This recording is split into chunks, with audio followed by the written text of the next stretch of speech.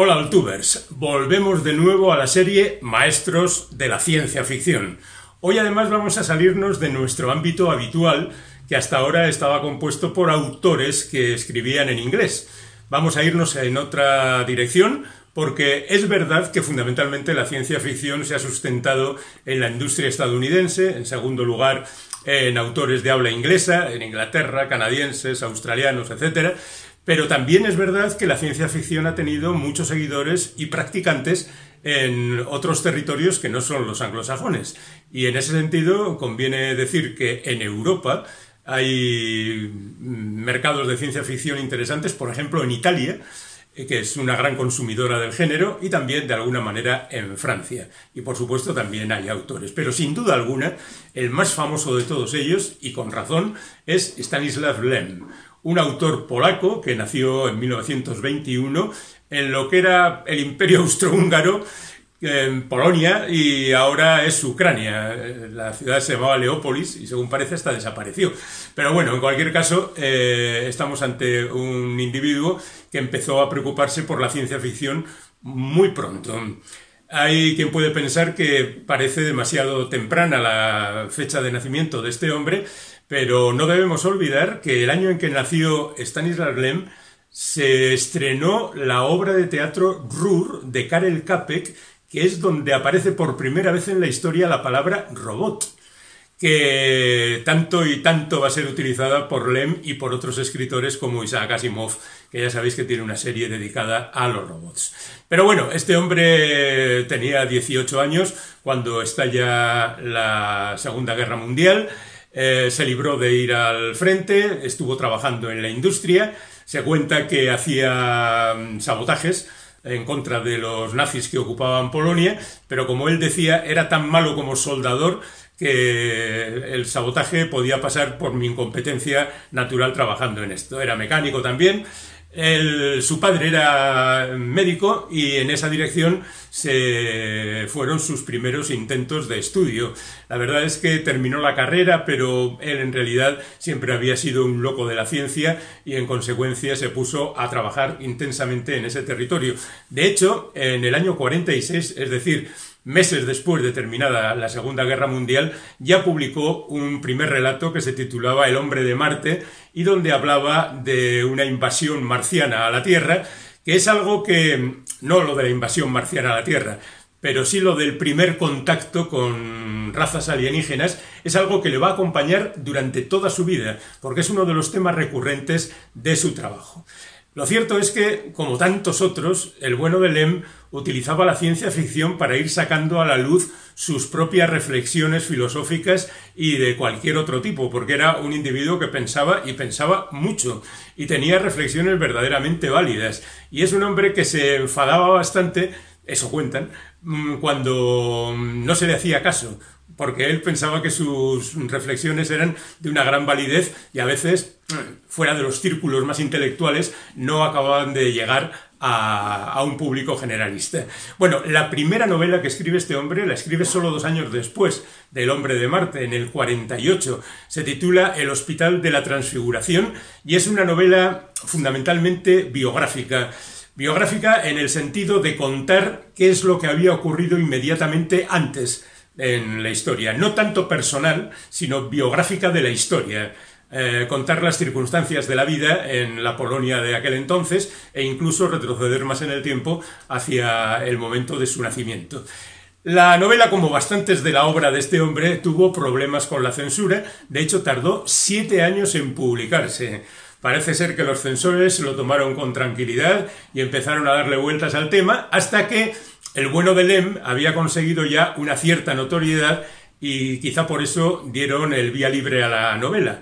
Y con ella se afianzó todavía más la fama de este hombre que, visto lo que había ocurrido con el Hospital de la Transfiguración, decidió escribir una novela de ciencia ficción titulada Los astronautas. Los astronautas es otra novela sobre el primer contacto con extraterrestres. Hay un grupo de astronautas que llegan a la Tierra desde diferente, de, algún punto del universo y se encuentran con una civilización, la terrestre de aquel entonces, de hace ya 70 años y más, y que puede resultar chocante para los extraterrestres. Esas diferencias eh, culturales, por supuesto, y biológicas, naturalmente, entre extraterrestres y terrestres son lo que le van a ocupar a este hombre, pero sobre todo las paradojas en las que se encuentran los terrestres cuando descubren unas civilizaciones que no tienen nada que ver con la suya y que muchas veces no le hacen ni caso. Eh, para los extraterrestres, los terrestres muchas veces son algo que no tiene ningún interés, como ocurre en La nebulosa de Magallanes, que es la siguiente obra que publica este hombre en el año 55.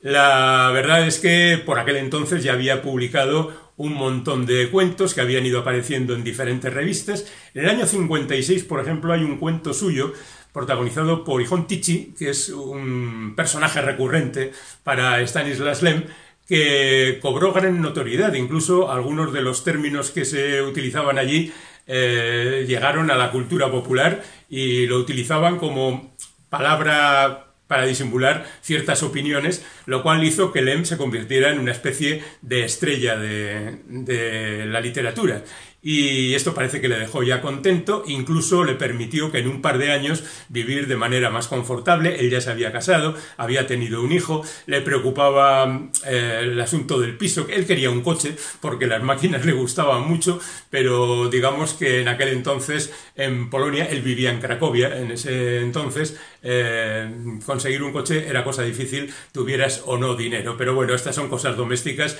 de la vida de Lem que sin duda alguna influyeron también en su literatura pero digamos que a nosotros nos interesan menos. A continuación, escribe La investigación. La investigación ya es una de las novelas mayores de Lem, inexplicablemente porque es una novela incomprensible. Me explico. El bueno de Stanisław Lem pretendía escribir una novela policíaca porque a él le gustaban las novelas policíacas y entonces empezó a escribir una novela que abandonó cuando iba por la página 100 aproximadamente y lo tituló Policial fallido y lo guardó en una carpeta. Esta novela apareció después de su muerte como algo que había fracasado en la escritura y que el autor había rechazado, para después ponerse a escribir la investigación. En la investigación lo que se cuenta es la investigación que sigue adelante un detective buscando la razón de cómo algunos muertos han resucitado. Eh, la verdad es que durante páginas y páginas se sigue esta persecución de los, esta especie de zombies. No estaban todavía de moda los zombies, pero bueno, este hombre se adelantó también en esto y fue buscando eh, la solución al terrible enigma por aquí y por allá. Lo que pasa es que no tenía un final, no se le ocurría ningún final. ¿Y qué es lo que hizo?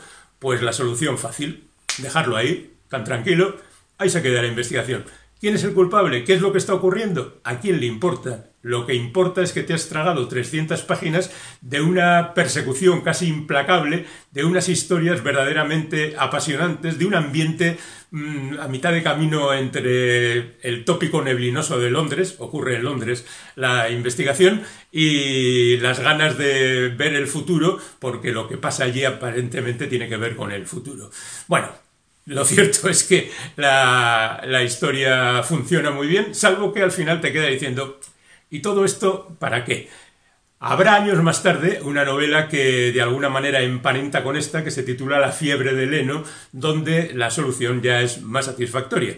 Bueno, no del todo, pero en cualquier caso más satisfactoria que la de la investigación. Y al mismo tiempo él sigue haciendo novelas de esas que le gustan a él, que son las del encuentro con seres extraterrestres. Por ejemplo, en Edén.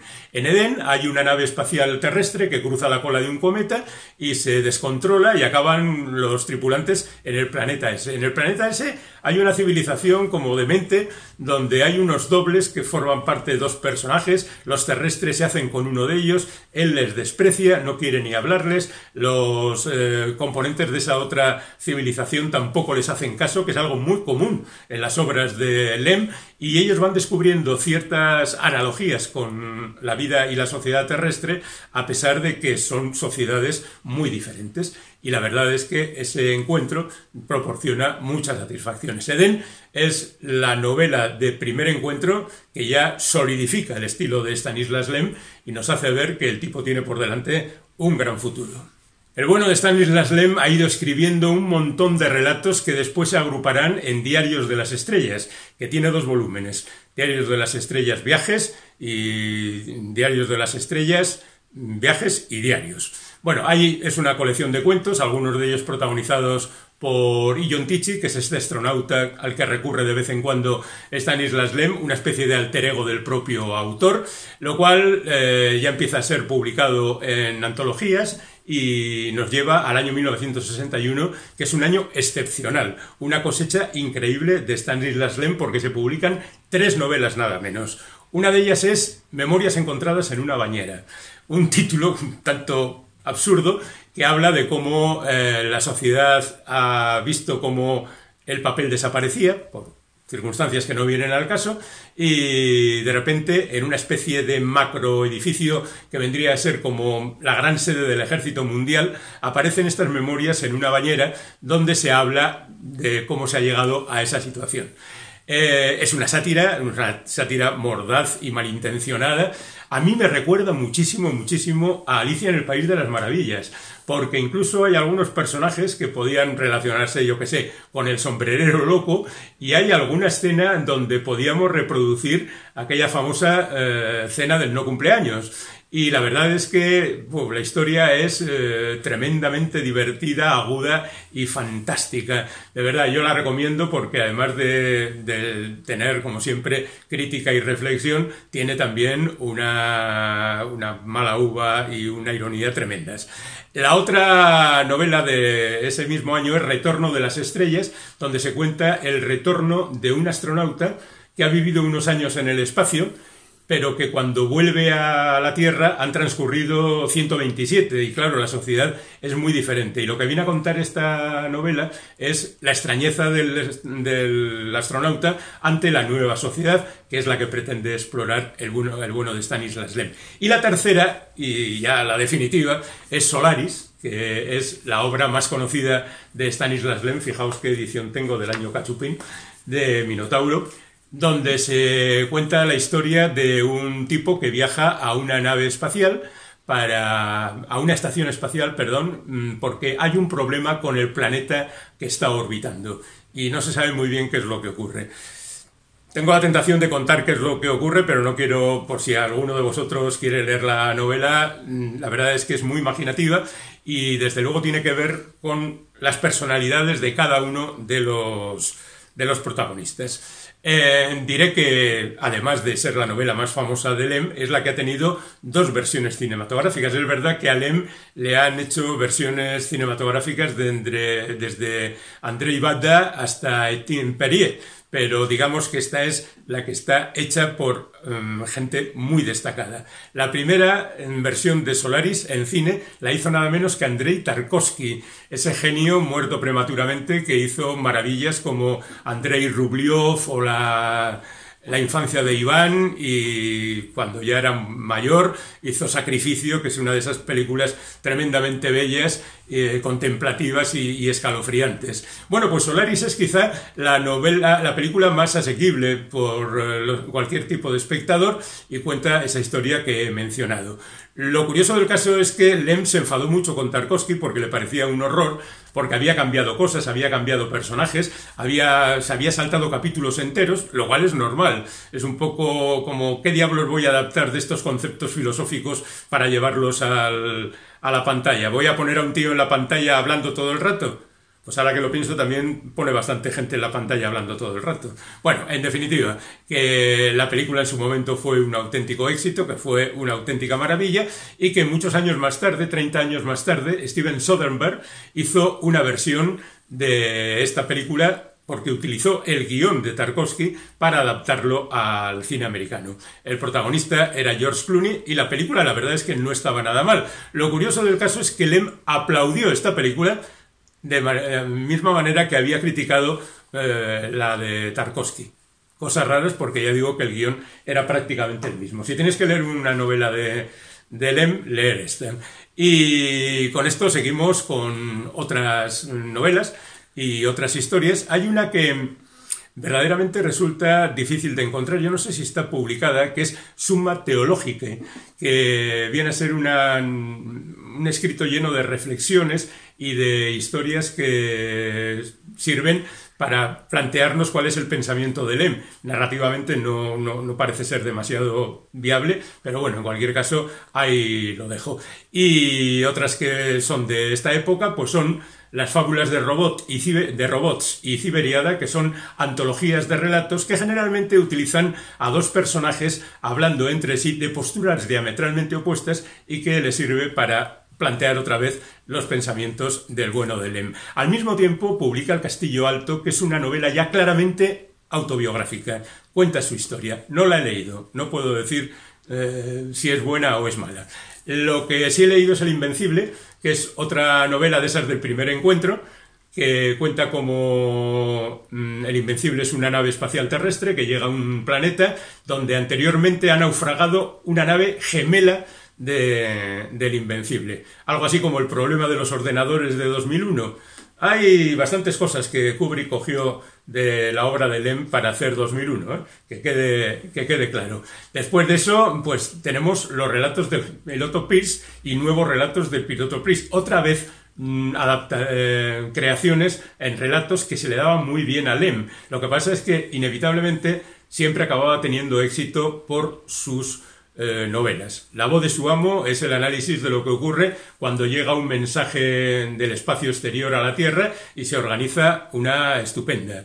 Y bueno, pues eh, de esa época, de los años 70, comienzo de los 70, em, empieza una nueva cosa que es la biblioteca del siglo XXI, que incluye Vacío Perfecto, Un Valor Imaginario, Golem 14 y una última novela que sería Provocación.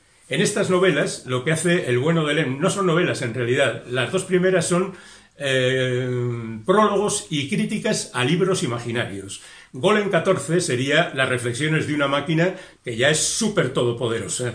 Y en el caso de provocación, mezcla las dos fórmulas. Por una parte, hay gente que ha escrito unos libros que no se han escrito en realidad, pero que Lem analiza, y eso le sirve, por ejemplo, para analizar el holocausto, que hasta entonces no había tocado, y eh, al mismo tiempo pues le sirve para crear otro mundo verdaderamente apasionante. Y al mismo tiempo pues sigue publicando sus libros de relatos, en este se reúnen un montón de ellos que van desde la primera época hasta fechas más o menos recientes.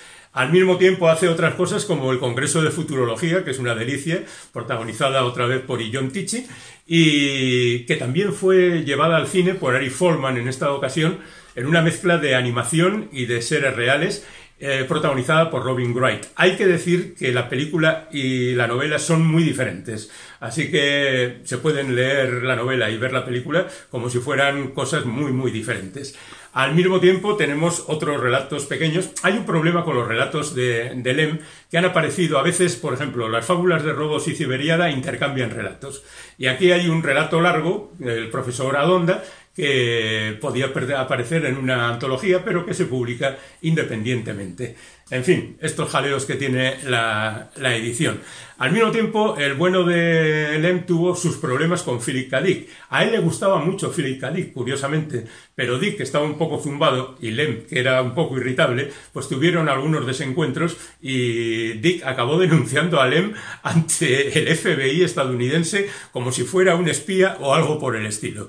Bueno, el, el bueno de Lem sigue haciendo sus novelas, La fiebre de Leno, como decíamos, Regreso a Entia, que sería otra novela de, primer encuentro, Provocación, que os he presentado, Paz en la Tierra, que parte de una idea verdaderamente buena, que es la de que se han juntado todas las armas de la Tierra en la Luna, para que no haya guerras. No importa, encontraremos la forma de, detenerlas. Y todo esto termina con eh, Fiasco, que es la última novela de Stanislas Lem, donde se cuenta otro primer encuentro con un mundo donde los extraterrestres no quieren ni oír hablar de los humanos.